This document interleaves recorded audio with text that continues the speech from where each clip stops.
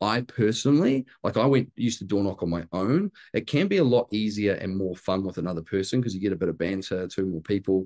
Um, so a, that would be something if you're finding it hard, like recognize what your challenge is. Are you finding it hard to get to the door in the first place, or you're finding it hard once you're at the door? If it's because you're not doing it, get a colleague and say, hey, I need to get door knocking because I need to find some opportunities. And quid pro quo, we'll do it together and go with someone. They kind of become like they hold you accountable because you got an appointment with them. The easiest appointment to break is the one you make with yourself. So make it with someone else.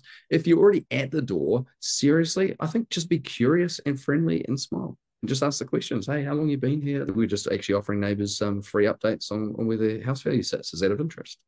Yeah, perfect. Simple as that.